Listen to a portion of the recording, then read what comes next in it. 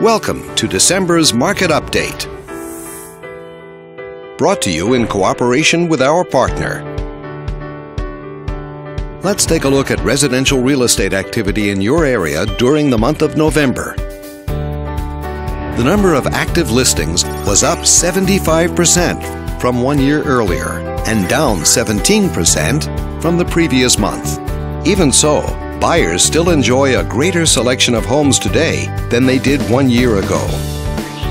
As you can see, the median listing price for the month was just under $570,000. Compared to last year, the average number of days that units spent on the market before being sold was up 35%. This higher number of days may signal a slowdown in the local inventory turnover rate. The median sale price was just under $320,000. The number of units sold increased 45% year over year and decreased 16% month over month. Higher year over year figures indicate that more buyers have been finding what they're looking for. Thanks for watching.